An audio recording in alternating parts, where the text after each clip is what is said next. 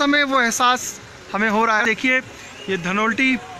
मसूरी, चंबा जो रोड है, उसका नज़ारा है और चारों तरफ़ इस समय ऐसा लग रहा है कि बस सफ़ेद हैं, पेड़ सफ़ेद हैं, सड़कें सफ़ेद हैं, ये पहाड़ सफ़ेद है क्योंकि बर्फ़बारी हो रही है और बर्फ़बारी भी ऐसी कि सब कुछ जाम हो गया है, सड़कें जाम हो गई हैं, गाड़ियाँ रुकी हुई हैं और